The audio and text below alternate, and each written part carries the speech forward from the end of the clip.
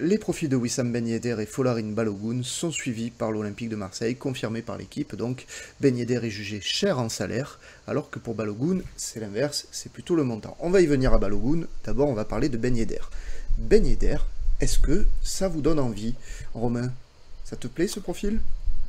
Alors, pour faire une réponse très politisée, je dirais Ça, ça, dépend. ça dépend de quoi Donc, vas-y, explique-nous. Ça dépend de si Alexis Sanchez reste ou non à l'Olympique de Marseille. Ah. Ouais, parce que pour moi, ce sont deux joueurs qui sont assez, assez ressemblants, en fait, tu vois, dans le, dans le style de jeu. Euh, c'est des joueurs qui décrochent pas mal, donc euh, pour moi, ils ont un peu, voilà, techniquement, ils sont au-dessus de la moyenne. Euh, ça marque des buts. Donc euh, voilà, c'est pour moi c'est deux petits gabarits, hein, ils 1m70 tous les deux. Donc je, voilà, je, verrais pas la plus-value d'avoir les deux, tu vois, associés en termes de profil, en fait.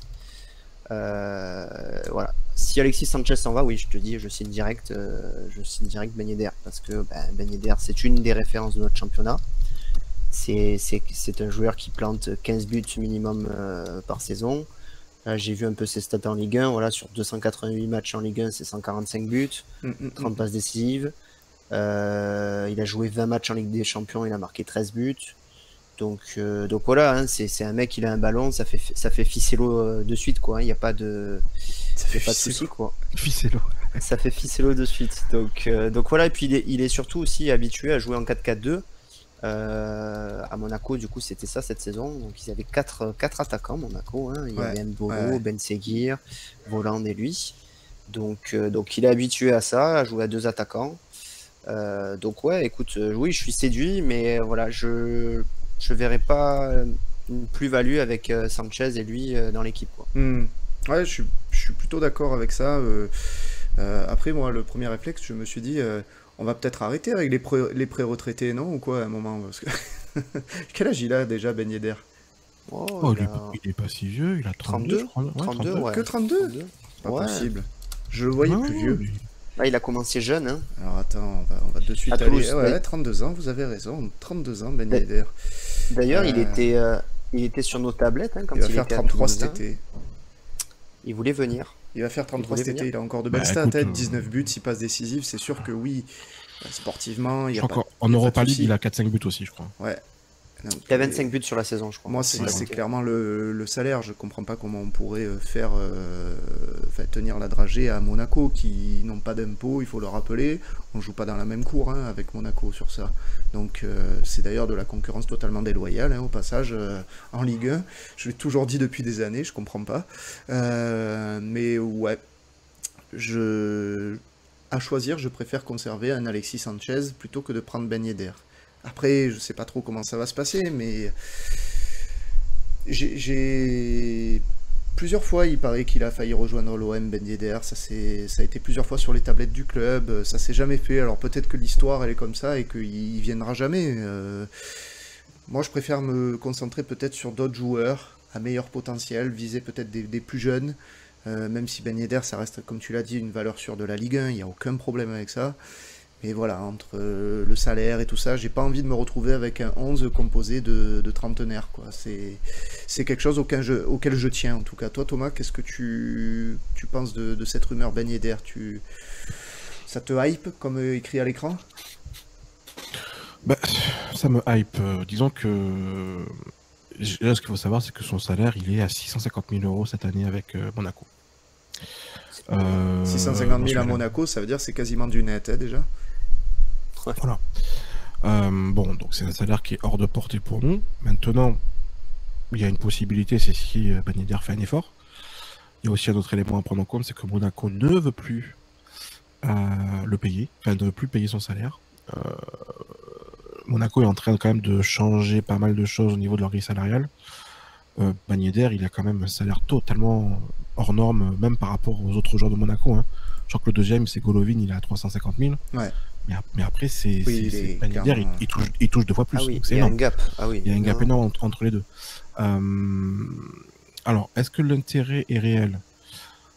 Euh, Ça peut, ça peut, mais dans le seul cas où, euh, où Alexandre s'en va. Voilà. Tu, n'auras jamais les deux ensemble. donc ça peut éventuellement être, être un intérêt. là, de ce que je sais, alors je, je hype pas trop par rapport à ça, mais on est plus sur de la prise de renseignements qu'autre chose. Voilà. C'est plus pour le moment de. On, veut savoir si le. Ne serait-ce que Ben serait intéressé pour venir chez nous. D'accord. Et, euh, et lui, euh, lui euh, serait quand même bien tenté pour retourner éventuellement en Espagne ou, ou une offre du pays d'Arabie Saoudite par exemple, qui peut aussi être une idée pour, pour Ben Donc nous, j'y crois, on va dire très moyennement, et il n'est pas non plus hyper chaud pour, pour venir. Voilà.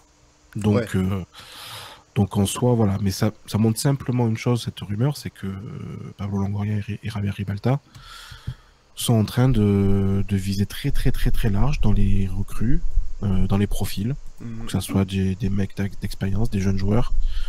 Euh, apparemment, cet été, c'est beaucoup plus. Euh, il y a énormément de, rumeurs et énormément de noms qui vont sortir, encore plus qu'il y a deux ans ou l'année dernière. on ratisse large, cette année, il ratisse encore beaucoup plus large que, que, d'habitude. Donc c'est dire que c'est très très compliqué d'avoir un peu le vrai du faux là-dedans. Mais concernant Ben Yedder, ce qu'on me dit, c'est que voilà, le joueur en, lui, lui-même n'est pas forcément hyper hypé pour venir chez nous. Donc, euh, donc je pense que ça va rester, ça va rester là. Après, il peut avoir éventuellement des, négociations peut-être parce que mhm. Lui attend peut-être un gros, contrat en Arabie Saoudite et il faut, il faut encore que ça vienne. Euh, un deal en Espagne, il faut en voir que est-ce qu'il y a un club qui pourrait être intéressé par lui. Donc on peut arriver en troisième, quatrième choix, voilà, potentiellement. Mais à l'heure actuelle, en tout cas, c'est pas d'actualité. D'accord. Ok, ben justement, vous êtes plusieurs à en parler dans, le chat aussi, puisque euh, la comparaison, là, elle est entre les deux. C'est soit on prend quelqu'un qui a un gros salaire, soit on prend quelqu'un pour lequel le montant du transfert risque d'être un peu plus élevé. Et vous le voyez à l'écran, c'est Balogun. Balogun, donc, euh, l'équipe, euh, vous l'avez vu juste avant, a confirmé que l'OM est intéressé. Vous l'avez dit aussi dans le chat, euh, je ne sais plus qui c'est qui l'a dit, que c'est Balogun, c'est Black Shark qui a dit que Balogun a déclaré sa flamme à l'Olympique de Marseille plusieurs fois. C'est vrai. est-ce que, est que du coup, Balogun, est-ce que l'OM doit faire un, genre de, de all-in en fait, hein, de, un genre de tapis à 40 millions? Alors c'est le prix de départ qui est annoncé par Arsenal. Dans le jeu des négo, moi j'imagine très bien que ça sera un, petit peu en dessous quand même, mais voilà, est-ce qu'on doit claquer une grosse partie de notre budget sur Balogun? Qu'est-ce que tu en penses Thomas? Alors... Ah, ça, ça sent la, ça sent l'info mercato, le petit son. Alors, je ne vais pas vous donner d'infos pour le moment parce que oh, on n'y est, on est pas. non, mais je vais simplement vous donner mon avis. Après, vas-y. Éventuellement, je vous donnerai une info. Euh, non, mon, avis, c'est que moi, j'adore ce joueur. Ah oui. J'adore ce joueur. Euh, c'est mon coup de cœur euh, sur la saison dernière. Euh, il correspondrait à, sur plein de points à, tout ce qu'il nous faut actuellement, c'est-à-dire la profondeur, la vitesse, le sens du but, même. il est jeune, il est anglais-américain, donc il peut potentiellement avoir une valeur de fou dans 2-3 ans.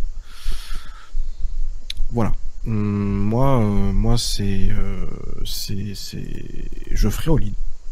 Si c'était, ça tenait qu'à moi, je ferais all-in dans le sens où potentiellement je, je ferais peut-être l'impasse sur un ou deux recrues supplémentaires pour pouvoir le faire. Et je lui ferai de la place. C'est-à-dire que moi, un Balogun, clairement, bah, je revends un Vitinha tout de suite. D'accord. Euh, je revends un Vitinha, je, lui, je, je, le prends à 40 millions au tarif que l'Arsenal va, nous demander. Euh, et euh, voilà, je fais le, deal en fait. Parce que c'est un joueur, je pense que là où il va aller, il va totalement exploser. Quoi. Ça, va être, ça va être très très très fort joueur, très très fort buteur. Tu enfiles Vitinha plus 25 millions en espérant que l'arnaque passe, nous dit Timbaland. mais voilà, mais, moi je, je, le fais, je le fais tous les jours. D'accord. Ouais. Bah, après, moi, je suis, je suis plutôt d'accord euh, avec toi. Et puis, euh, je disais, est-ce que c'est une grande partie de notre budget? Je sais pas, la moitié euh, de notre budget peut-être.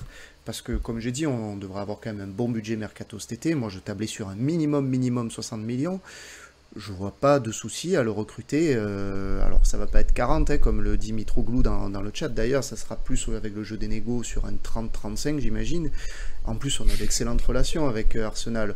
Ben non, mais on pourrait imaginer d'autres montages, comme un prêt payant avec une option d'achat obligatoire, ce qui nous permettrait de bien étaler les paiements. On peut imaginer inclure un pourcentage à la revente pour faire baisser le prix, une clause de rachat par Arsenal, enfin plein de choses sont possibles. Moi j'espère que Longoria il le veut vraiment en tout cas et qu'il sera créatif pour le faire venir.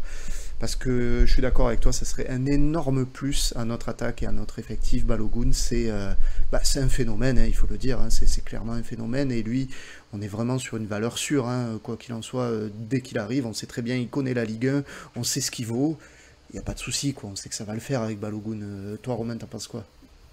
Ouais, ouais, moi j'aime bien le profil. En plus, ça fait, je trouve, très longtemps qu'on n'a pas eu ce profil d'attaquant rapide, à droit devant, devant les buts. Euh, voilà, donc je, moi j'aime bien ce genre d'attaquant qui prend, prend la profondeur. Euh, voilà, ça sera compatible avec, euh, avec un jeu à deux attaquants. chose que peut-être ça l'était un peu moins avec un seul attaquant, tu vois, sur les, précédentes saisons. Donc ouais, pour moi, c'est vraiment, ça serait vraiment une, une, plus-value pour notre effectif, quoi, d'avoir un, un, joueur comme ça, comme tu dis, il connaît la Ligue 1, euh, il, a apprécié le vélodrome aussi, il a dit. Mm. Hein, il, a, beaucoup dit qu'il avait apprécié cette, ambiance-là. Donc ouais, donc si on peut, si on peut le faire, euh, il faut foncer quoi, hein, parce que c'est, j'ai vu passer dans le chat, effectivement c'est l'avenir. Hein, ben Yedder, c'est une valeur sûre, c'est sûr de, de, la Ligue 1, mais on, voilà, on a plus de, de perspectives avec un, un Balogun. Ah, largement, hein, largement. Moi, c'est clairement le joueur. Si tu dois claquer une partie de ton budget, c'est sur lui qu'il faut le faire. Clairement. C'est tout de suite, il faut même pas, il faut même pas hésiter. Hein. Moi, pour moi, c'est. Alors, j'ai vu passer le nom de Dybala. Euh, moi, je, suis quand même moins bien, enfin moins, moins hypé par Dybala. Déjà parce que le, gabarit, pour moi, pour la Ligue 1, ça me semble un peu limite. Euh, même si c'est un bon joueur, mais euh, je le vois moins costaud. Thomas Souris. Non, non, mais parce que je, ah. suis pas. Euh, D'accord. Je, moi, Dybala, je, je, l'aime d'amour. Donc. Euh, oui, parce que tu, voilà, ah. tu adores la Je, l'adore. Non, mais moi, je l'adore, Dybala. Donc, je peux pas être. Euh, tu peux pas être objectif. Automatiquement. Ouais, voilà, merci. Je suis pas objectif. D'accord. Bon. Mais tu vois, pour son salaire, en tout cas, vous êtes. Vous êtes en train de dire qu'il n'avait pas, bon, pas un si gros, gros, gros salaire que ça je mets beaucoup de guillemets parce que la dernière fois, euh, je sais plus qui c'est qui nous a dit Ouais, les gars, c'est scandaleux, vous dites ah c'est un, petit salaire à 180 000. Non, mais on sait très bien que c'est des gros salaires, mais dans le milieu du foot. Euh, voilà, mais euh, ouais, Dybala à la, Juve, à la Roma, je pensais qu'il touchait quand même plus que 400 000, hein, honnêtement. Oui, mais après, les salaires italiens sont un peu différents aussi des salaires français. Il n'y a pas non plus forcément les, les mêmes taxes. Donc après, bon, ça n'a jamais été de toute façon, ça jamais été de toute façon un nom, moi, euh, depuis que là, je, on fait l'émission et que depuis, depuis que j'essaie d'avoir un peu des infos par rapport, j'ai jamais eu le nom de Dybala qui est venu. D'accord. Donc, euh, donc euh, pour moi, il n'y a, y a, rien du tout. On veut l'annonce, on veut l'annonce. Mais, oui, mais moi, il n'y a pas de problème. Hein. il, manque, il manque 27 likes. Après, moi, je le donne. Hein. Après, je sais pas si Longoria est sur ce modèle-là aussi d'empiler les, les gros salaires, tu vois. Je pense qu'il peut faire les un ou deux gros salaires puisqu'on a quand même des joueurs qui vont s'en aller là mhm. à ce mercato là, mais je, je, le vois pas partir sur une politique de gros salaires à l'OM comme c'était le cas il y a quelques années. Peut-être. Ouais. On a une question de Hassan, Thomas, Julien Romain. Vous faites, vous avez un choix à faire. Soit vous faites prolonger Sanchez, mais vous pouvez pas signer Balogun, soit l'inverse. Vous faites signer Balogun, mais vous prolongez pas Sanchez. Qu'est-ce que vous faites? Il n'y a pas de débat pour moi. Ah, moi non plus. Pour moi, c'est Balogun tous les jours. C'est Balogun tous les jours.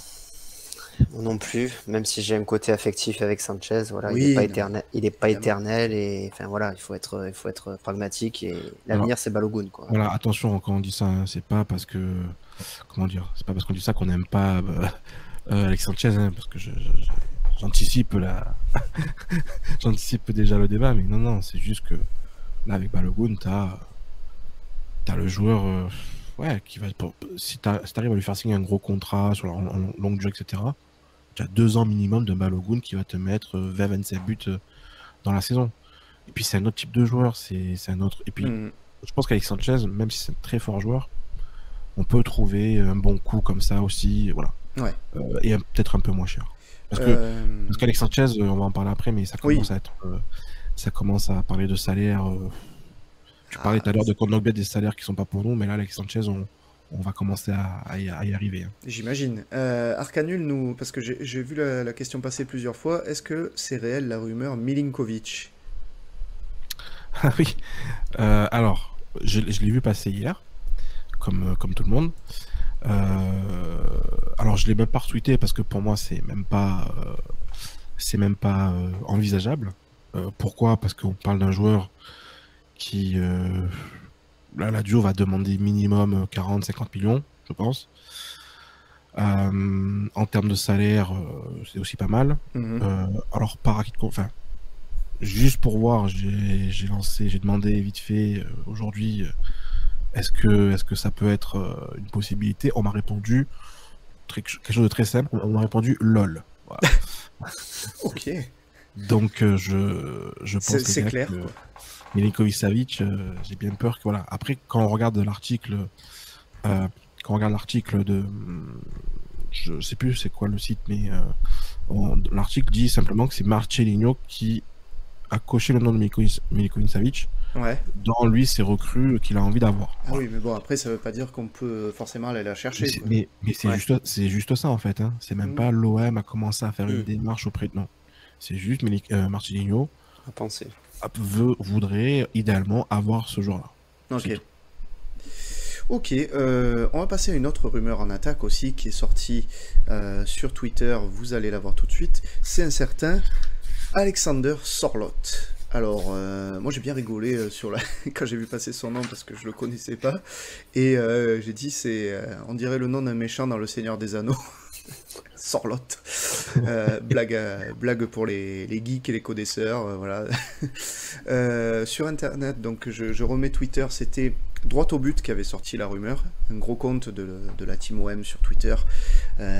c'est rare qu'ils sortent des infos mercato d'ailleurs, et d'un coup il a, il a sorti celle-ci, et, et, tu es allé à la pêche aux infos, de ce que je comprends Thomas, puisque tu as mis confirmation de l'information. Donc j'ai bien compris que c'était toi qui avais, confirmé. Oui, mais après, je, cite. Euh, je cite euh, droit au but, oui, tout à fait. oui, euh, parce que c'est lui qui le, qui le sort en premier. Il faut toujours citer les gens qui te sortent les infos en premier, c'est toujours bien. Ah bah, oh, pas tout le monde le fait. Et, et donc, donc, oui, non, il y a bien un intérêt pour, pour, pour C'est un intérêt qui date même d'il y a deux ans, voilà. Qui a toujours été là, en fait. Hein, cette envie l'envie est toujours là. Euh, maintenant, euh, en fait, je reviens un peu à ce que je disais, notamment par rapport à, Taremi, l'Iranien dont on parlait lors du dernier live. Mhm. il, fait il fait partie effectivement de ce, lot de joueurs. Euh, concrètement, il y a une demande d'information auprès de, de Leipzig. Leipzig est vendeur, mais il y a beaucoup de clubs sur, sur lui aussi, parce qu'il intéresse. Il est quand même, il est quand même plutôt intéressant. On pourra parler d'ailleurs, si vous voulez, un peu du profil hein, du gars, parce mm. que c'est ah oui, pas, pas inintéressant. Et, euh, mais voilà, en tout cas, il, la, comment dire, la, la rumeur est, est réelle. Euh, mais après, euh, si je devais donner, on va dire, un, une hiérarchie au niveau des rumeurs, peut-être qu'il est au même niveau qu'un Taremi, c'est-à-dire que c'est pas le top top au niveau des rumeurs. Ouais. C'est pas non plus peut-être juste une prise de renseignement et on est sur de la prise de renseignement un peu plus plus, c'est-à-dire que vraiment on, commence à essayer de voir avec la physique comme qu'est-ce qui les intéresserait en termes de prix, etc. Voilà. D'accord. On est plus sur ça. Moi, à première vue, quand j'ai vu Sorlot et que j'ai un peu regardé, je me suis dit franchement bof quoi. Hein. Je me suis dit, je préfère un attaquant évoluant déjà peut-être en Ligue 1, 12 millions pour un mec qui sort d'une bonne saison en Espagne, ok, mais après quoi? Quoi d'autre? Bon, ouais, j'ai vu qu'il a joué en Turquie. Au final, il a quasiment les mêmes stats presque qu'un Luis Suarez de l'an dernier première vue, je me suis dit pas dingue en vrai. Mais en y regardant de plus près, en regardant son style de jeu, je me suis aperçu quand même que dans une attaque à deux, il peut vraiment être très pratique euh, ce joueur. Mm. Mm. C'est un point de fixation idéal en fait ce mec. Hyper costaud, on est loin du mec qui fait 1m95 et qui est comme ça tout fifrelin quoi. Là on a une armoire. Le mec il faut aller le bouger le bébé. Hein. Je, je, le vois très bien avec un Sanchez qui lui tourne autour ou un Vitinha pour qui remiser. Bon, le nom, il fait pas rêver, c'est sûr, mais en vrai, je me dis, ça serait une recrue, une recrue, pardon, Une très, recrue. lo- très logique comme recrue. Un, un genre de Brandao, mais, mais plus technique en quelque sorte, Ouais. non? Romain, je te vois convaincu, toi, par le profil de Sorlotte. Ouais, complètement, complètement, parce que, comme tu dis, ben, c'est un grand, un grand gaillard, hein, 1m95. Euh, c'est c'est un joueur qui est pas forcément, qui se plante pas dans la surface et qui fait que du pivot. C'est un joueur qui part sur les côtés aussi. J'ai Mm. regardé un petit peu des vidéos. Là, c'est pas un mec qui est. C'est vrai que Brandao se déplaçait pas beaucoup. Il était là pour, euh, pour, euh, voilà, pour casser les pieds aux défenseurs. Mais lui, il, il aime bien aussi euh, se déplacer. Assez rapide pour quand même un, un gaillard d'un mètre 95. Techniquement, ça va. Euh, Peut-être voilà, sur ses prises de balles, il, il a encore des choses un petit peu améliorées. Mais euh, ouais, moi je trouve que ça serait intéressant d'avoir. Voilà, on, on entend parler de trois attaquants, voire quatre, euh, quatre attaquants sur la, sur la ligne d'attaque. Ça serait intéressant d'avoir des profils différents et lui pourrait, pourrait être, euh, ça pourrait être une, une bonne solution. Je pense notamment, tu vois, par exemple aussi à l'équipe de l'Inter qui avait un petit peu, euh, qui, qui, qui- qui avait une rotation à trois attaquants avec un Zeko, un Lautaro Ma- Martinez et un Lukaku. Donc il y avait quand même une bonne rotation. Il me fait, il me fait penser un peu au profil de Dzeko, tu vois. Et, euh, je trouve que la rotation était, était, était pas mal. Donc en plus avec les cinq changements qu'on a euh, maintenant avec autorisation, donc du coup je me dis euh, ça peut être un bon joueur de, de complément et de rotation.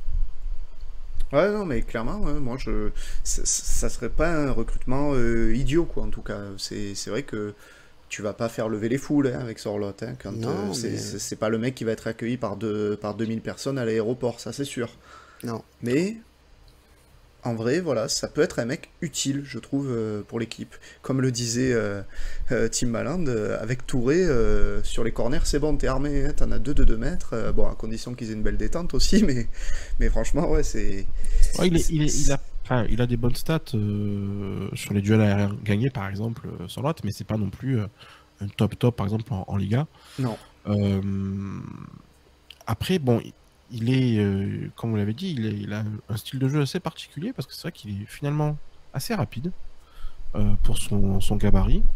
Balle au pied, c'est pas dégueu, je trouve. Moi, j'ai jamais trouvé. Non, je euh, m'attendais à un mec hyper maladroit, moi. hein. ah ouais, non, et ben en fait, j'ai un peu regardé notamment les stats en termes de dribble réussi en, en Liga cette saison. Il est, il est dans le top euh, 25%. Euh, quand j'ai top 25%, c'est vraiment tous les attaquants de Liga. Mhm. Euh, il est dans le, dans le top les 25%, donc c'est plutôt pas mal. Euh, c'est un bon passeur au final. Euh, il, a, il même, il a même le sens de la passe qui est plutôt intéressant. Défensivement, il peut faire du taf aussi. J'ai vu passer la comparaison, alors je sais plus qui l'a donné, qui parlait de Patrick Schick, Ouais. le tchèque. Euh, dans l'idée, on, est, on peut être un peu, un peu sur ça, même si je trouve que Sorlotte est même plus rapide. Abba qui nous dit dans le même style, je préfère aller chercher Patrick Chic.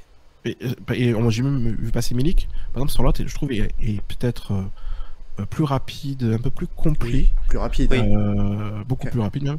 Par contre, il est peut-être un peu moins létal devant le but que peut être, Mhm, je trouve, par exemple, Milik. Même si, même si, alors j'avais un peu vu déjà des, des, des- des buts de lui certains matchs, mais je allé un peu regarder du coup les buts qu'il a marqués cette saison. Euh, Il y en a des, il y en a des jolis. C'est un gaucher, hein. Les gauchers, ouais. les gauchers ont toujours tendance à être euh, quand même euh, bien sympathiques euh, techniquement. euh, et, et lui, il a le petit piqué facile, il a une Mhm. belle frappe. Franchement, il est, il est, il est pas dégueu devant le but. hein. Donc, Ouais, ouais, ouais. Donc, on peut, on peut imaginer ça. Euh, après, voilà, par rapport aux infos que j'ai eues, c'est simplement, on parle d'un transfert aujourd'hui. Leipzig est vendeur. Leipzig a besoin de liquidité aussi. Euh, donc, euh, donc, ça peut se négocier. En termes de salaire, c'est pas non plus forcément trop déconnant. Voilà, je crois qu'il a 20, euh, quel âge il a? Il a 20, 27. euh, 27 Ouais, ans. Donc, il 27 ans, arrive, il arrive dans son prime. C'est un joueur qui a beaucoup voyagé. Mais, mais honnêtement, Ouais, honnêtement, est- j'aime bien, j'aime bien l'idée. Il est Mhm. passé par l'Angleterre, j'ai vu, Crystal Palace, euh, la Turquie. Ouais, il a un peu navigué, ouais. La Gantoise aussi. Ouais. il, a fait, il a fait beaucoup de championnats au final. Ouais. Euh, et là, la Sociedad, c'était pas mal cette saison. Ça, ça, ça a été une, une bonne saison pour lui. Oui, oui. Je pense qu'il a, il a envie, peut-être à ce maintenant, à 27 ans, de se stabiliser véritablement dans un club.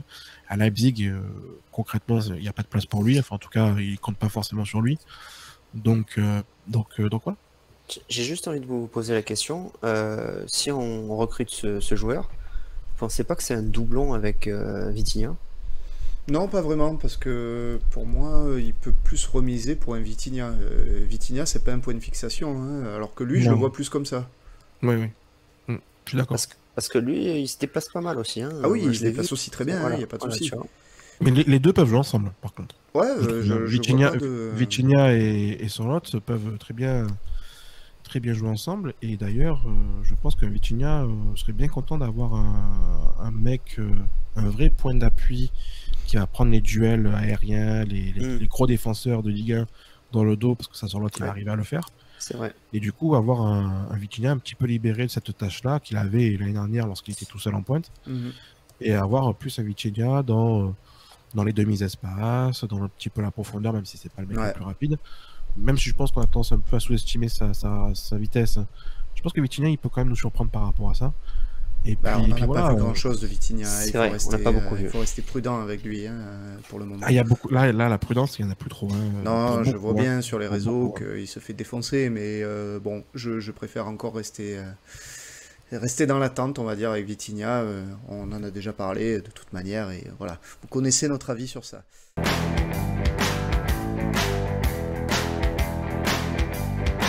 shutters.